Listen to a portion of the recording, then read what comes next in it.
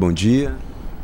Bom dia, Newton. Bom dia às pessoas que nos assistem no espaço público. Então, que tipo de imóveis vão ser levados a leilão? Bom, o, nós estamos efetivamente envolvidos agora num processo de alienação de um conjunto de imóveis que não estão sendo utilizados pelo Estado e nós vemos isso como uma atividade de caráter permanente, não ocasional. Então, neste conjunto de leilões que nós estamos realizando agora, vão ser leiloados imóveis uh, terrenos sem edificações, alguns apartamentos residenciais e casas residenciais também. Qual é o valor total da avaliação desses imóveis que estão sendo levados agora a leilão? São 33 imóveis na Grande Porto Alegre, na Grande Caxias e na Grande Santo Ângelo, um valor total de avaliação de 7 milhões e 100 aproximadamente. Já tem data prevista para o leilão? Sim, na verdade o leilão de Caxias já se realizou anteontem. Uhum. Uh, o de Santo Ângelo está, estará sendo realizado daqui a pouco, às 10 horas da manhã, na Câmara de, de, de Vereadores de Santo Ângelo. Importante esse destaque aí para o pessoal da região das missões que quiser participar, não é? Perfeito, é às 10 horas, ainda dá tempo aí ainda do, tempo. do povo aí da região participar. E depois os imóveis situados na Grande Porto Alegre, na, na próxima quinta-feira, na semana que vem, dia 5, às 10 horas da manhã, também no auditório do Centro Administrativo do Estado. Agora, o que, que deve ser, uh, de que forma esse dinheiro arrecadado dos leilões uh, deve ser uh, implementado e utilizado no Estado? Bom, isso é um detalhe interessante. Esse, esses leilões eles se realizam dentro de um de um programa mais amplo de governo, de modernização do, do, da gestão patrimonial. E uh, os recursos arrecadados nesses leilões eles serão depositados num fundo específico, eles não vão para o caixa único do Estado, vão, são depositados num fundo específico e destinados exclusivamente para serem aplicados em, em melhoria, em reformas, e, e, até mesmo em aquisição de outros imóveis, enfim, de, de forma a, a, permitir uma modernização na, na, na, na, utilização dos prédios estaduais. Quer dizer que então esse dinheiro vai ser utilizado na modernização dos prédios que estão sendo utilizados então pela administração pública? Perfeitamente, exatamente. Reformas, melhorias, uh, restauração, enfim, de, de, de, de prédios ou que estejam em utilização ou até que não estejam, estão sendo utilizados exatamente por estarem em más condições e que serão recuperados dessa maneira. Agora, senhor Raul, o senhor poderia me dizer assim, quem é que pode participar desses leilões? Que existem muitas dúvidas né, com relação a isso. É, essa é uma pergunta bem interessante. É, de modo geral, as pessoas têm uma, uma, uma impressão de que esse processo de, de participação é, é difícil, mas na verdade, na modalidade de leilão, ele é extremamente simples.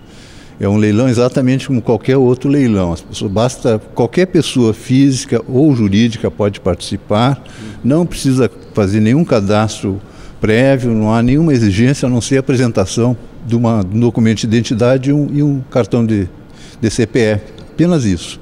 Mas isso já no dia do leilão ou tem que fazer, na verdade, uma, uma pré-inscrição ou pode ser direto no dia? Não, direto no dia, sem nenhuma exigência anterior. Basta, Se eu quiser participar? Exatamente, basta comparecer. Se tu quiseres participar lá, comparece, uhum. participa dos lances e se o teu lance for uhum. vencedor, aí nesse momento vai apresentar a tua, tua carteira de identidade e o cartão de CPF. E como é fácil, cara, se você tirar um, tiver um bom dinheiro aí na sua bolsa, você pega sua carteira de identidade, chega lá no leilão em Santo Ângelo, começa agora, que às 10 horas da manhã, ou aguarda aqui o de Porto Alegre, chega lá e faz o lance. Imagina, muito fácil. Tem gente que pensava que né, era muito complicado e tinha toda uma burocracia, uma série de documentos, mas na verdade não tem isso, né, senhor? Não, na modalidade de leilão, não. É assim, ó, uh, nem todos os, os imóveis uh, públicos colocados à venda para alienação. Vou falar em venda porque as pessoas compreendem melhor, mas enfim, destinados à alienação podem ser alienados nessa modalidade. A, a regra geral é a da concorrência pública e essa sim tem necessidade de cadastro anterior, de apresentação de, negativas e, e, tal. Mas esses aí, na modalidade de leilão, é muito simples, não há problema nenhum. Agora, esses imóveis, na verdade, eles estão assim em dia com relação a impostos, todas as negativas estão zeradas. Absolutamente regularizados, em dia, sem nenhum embaraço. É, é só quitar o lance e, e tomar posse. Fez o arremate dentro de quanto tempo a pessoa recebe esse imóvel já no seu nome? É, na verdade, as pessoas têm que fazer um depósito de 10% do valor no ato, depois eles têm até, até 10 dias para integralizar o pagamento, e uma vez integralizado o pagamento, imediatamente se providenciará na, na, na, na escritura e eles poderão tomar posse tão pronto se conclui essa, essa, documentação, que é muito rápido, na verdade, já que os imóveis estão totalmente desembaraçados. Agora, Newton, o senhor poderia. Newton, Oi, escuta, diga. Quais tô, as características desses imóveis que vão a leilão? Pois é, é, na verdade a Carla lhe pergunta assim, o perfil de imóveis, na verdade é como o senhor falou, são apartamentos, né? É. terrenos. Tem um valor até, um valor. Uh, que não têm características de poderem ser utilizados no serviço público. São Sim uhum. ou terrenos uh, urbanos e rurais, Sim. sem edificação. Ou apartamentos residenciais, ou casas utilizadas para residência também. Uhum. E, uh, na verdade, não se tem assim, um valor aproximado assim, do lance mínimo de cada imóvel, né? Isso vai depender muito de cada leilão, né?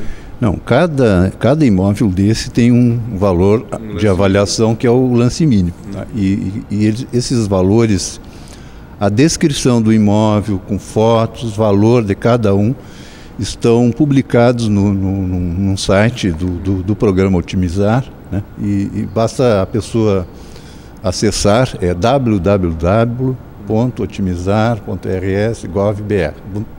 Agora, é importante, vamos conversar um pouquinho sobre esse programa Otimizar, o que, que ele significa, como é que ele foi implantado aí no Estado?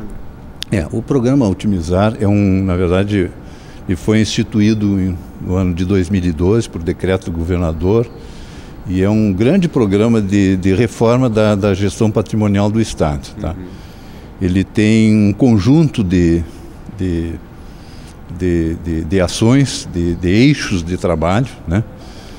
São cinco eixos principais. Tá? Na verdade, nós trabalhamos basicamente com, com um trabalho, um grande trabalho de, de atualização dos dados cadastrais. Existe um cadastro de todos esses imóveis do Estado e nós estamos trabalhando fortemente para atualizar esses dados, para que ele seja um cadastro completo e confiável. Esse é o eixo número um. O segundo eixo é, é constituir uma rede de, de, de, de agentes patrimoniais né, é, que vai dar conta de manter atualizados e conservados e em segurança os, os, imóveis estaduais destinados a órgãos públicos. Então, cada órgão público vai ter um, um, ou mais agentes patrimoniais que vai ter que dar conta de manter isso atualizado. E aí é importante a gente ter presente que, que, que os imóveis públicos eles podem ter características muito diferentes. Né? Você imagina, por exemplo, uma prisão. É um imóvel que tem características muito específicas uma, uma área de preservação ambiental, ou um prédio histórico utilizado para um museu, ou uma instalação militar, enfim, tem. E, isso, evidentemente, tem que ter uh, pessoas especializadas para lidar com isso em cada um desses organismos aí. E em relação aos imóveis que, estão, que não têm utilização, esses sim a Secretaria da Administração, através do departamento, assume diretamente a gestão deles. Então, esse é o eixo 2. O eixo 3 é um grande trabalho também de racionalização da, da utilização desses imóveis. Então, nós temos situações do tipo haver uh, uh, repartições estaduais uh, utilizando imóveis privados, com, com, locação, com despesa de locação por Estado, e paralelamente na mesma localidade nós temos, por exemplo, um prédio público que não está sendo utilizado porque está enfim, com problemas de conservação, de, de, de, segurança. Então a gente faz, esse é um, é um trabalho importante que a gente pode fazer e, e temos feito isso fortemente de, de, uh, constituir, inaugurar e colocar em funcionamento centros administrativos que, inclusive, que compartilham Sim. serviços de diversas repartições estaduais e municipais, inclusive, né, de forma a facilitar também a vida da população. E, e também um conjunto importante de imóveis também que estavam sem utilização, que são repassados aos municípios, sobretudo a municípios, para fazer serem utilizados na construção de, de, para a construção de escolas, de postos de saúde, instalações de assistência social, enfim, essas coisas. Tá? Tudo isso dentro do eixo racionalização.